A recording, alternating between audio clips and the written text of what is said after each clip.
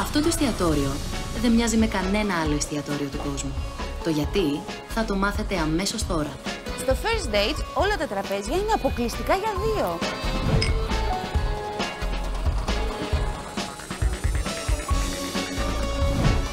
Γιατί εδώ συχνάζουν όσοι θέλουν να βρουν το άλλο του μισό.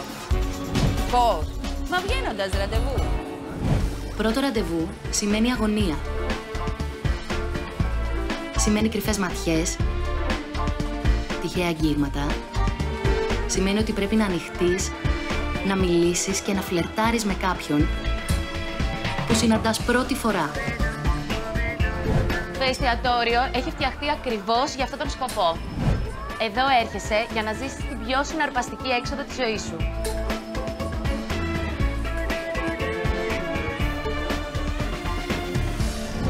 Για την τέλεια ατμόσφαιρα, την παρέα, το καλό φαγητό και φυσικά για τη γνωριμία που μπορεί να σου αλλάξει τη ζωή. Και βέβαια για τα κοκτέιλς.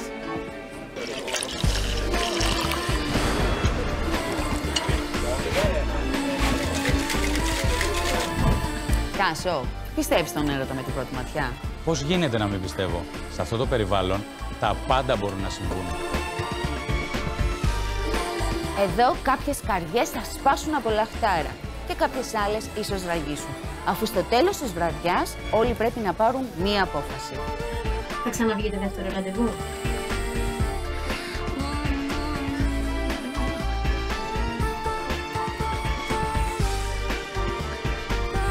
Για όλους κάπου υπάρχει το άλλο τους μισό. Αυτοί που βρίσκονται εδώ ελπίζουν να το βρουν σήμερα. Εμείς εδώ βάζουμε την αστερόσκονη. Τα υπόλοιπα είναι δική σας υπόθεση. Καλώς ήρθατε στο εστιατόριο του First Dates.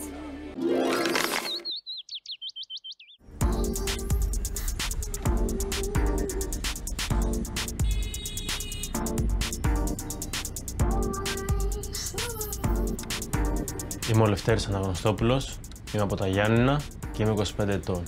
Ασχολούμαι με το χώρο του modeling και το χώρο της εστίασης, το κομμάτι του μπουφέ. Κάθε χόμπι μου είναι να πετάω από βράχους σε θάλασσα π.χ. τύπου 10-15 μέτρα. Όχι με κεφάλι όμως, εντάξει. Το σπάσουμε. Γεια σας. Καλώς το αγόρι μας. Τι κάνετε; Τι κάνεις, Λευτέρης. Λευτέρης; Τι ωραίο αγόρι με το leather jacket. Και δικό σας. Λευτέρη, Λευτέρη, Λευτέρη. Από πού είσαι; Από Γιάννηνα. και; Ήρθα εδώ να δω τον έρωτα της ζωής μου. να βρεις τον έρωτα της ζωής σου. Ναι, το ναι. πιστεύεις; Γιατί όχι. Δεν θα πω ψέματα. Απλά μέχρι να βρω την κατάλληλη θα συνεχίσω να βγαίνω ραντεβού όσο πάει. Δηλαδή δύο-τρεις φορές τη βδομάδα, τέσσερις. Και στα Γιάννενα δεν έχουμε ερωτευτεί τίποτα; Δεν Κάτι μ' αρέσει. λίγα. Ναι, δεν μ' αρέσει η νοοτροπία. Τι νοοτροπία έχουν στα Γιάννενα; Ε, είναι λίγο πίσω. Κλειστή. Ναι, ναι. Έχει βγει, το- ξέρω εγώ, το όνομα ότι ο Λευτέρης, ξέρω εγώ, πάει με κάθε μέρα και με διαφορετική, ενώ δεν γνωρίζουν καν τι έχω κάνει και πού έχω πάει και αν είναι η κοπέλα μου και, και, και. Μου άρεσε αυτή που ήταν στο GNT, η Κρητής, η, πώς τη λένε, η Ξανθιά. Η Βιτίναρος. Ναι, μ' αρέσει πολύ. Και εμένα Ένα- μ' αρέσει ένα η τέτοιο. Βιτίναρος. Ένα τέτοιο. Άρα στυλ. τι θες, τύπου... Έτσι. Κάτι Μπόμπα. τέτοιο, ναι. Εντάξει, αυτό είναι δύσκολο. Ε. Μία είναι η Βιτίναρος, δηλαδή... Εντάξει, σίγουρα. Και στα γαλανά μάτια έχω τρελή λατρεία. Δηλαδή, μπορεί να μην μου αρέσει μια κοπέλα, να μην είναι τόσο όμορφη, αλλά το βλέμμα της και τα μάτια της, αν είναι αυτό που θέλω, με έχει ρίξει. Θέλεις να πάμε για ποτό; Πάμε. Έλα να πάμε να σε πω. Ή, να σου πω, ή- είσαι νέο παιδί. Ναι. Πάμε, γιατί μου έχεις έρθει, είσαι κούκλος, είσαι μια χαρά παιδί, σαν τα κρύα τα νερά. Θα κάτσεις εδώ τώρα με το τάσο μας, θα πιεις ένα ποτάκι, θέλω να μου χαλαρώσεις. Θα κάτσεις από εδώ Εντάξει. και εγώ σου εύχομαι τη Βιτίναρος, αλλά τη Βιτίναρος την εύχομαι σε όλους μας. Όλα καλά, θα τα φτιάξουμε εδώ. Τώρα Έλα. θα σε περιλάβει ο Τάσος, κάτσε να δεις πώς θα γίνεις. Δεν έχει μουσική, η μουσική με χαλαρώνει περισσότερο. Εδώ ουσιαστικά δεν έχουμε μουσική για να μπορέσουμε να σκεφτόμαστε πιο βαθιά, έτσι να διεισδύσουμε μέσα στον έρωτα και στην αγάπη. Μάλιστα. Τι θα πιούμε, Εγώ τζιν γενικά πίνω. Ένα gin tonic; Ναι, πάλι τζιν τόνικ και μια φέτα λιμόνι. Πάρα πολύ ωραία. Γενικά για πες, είσαι της σχέσης, είσαι της περιπέτειας; Κοίτα, είναι ανάλογα, είναι ανάλογα στο άτομο που θα έρθει σε επαφή. Αλλά γενικά θα μ' άρεσε να, να κάνω μια σχέση. Δηλαδή να μην ψάχνουμε συνέχεια από εδώ και από εκεί. Κουράζει αυτό. Εξαντλεί τα συναισθήματα, Ε, νομίζω. ναι, ρε.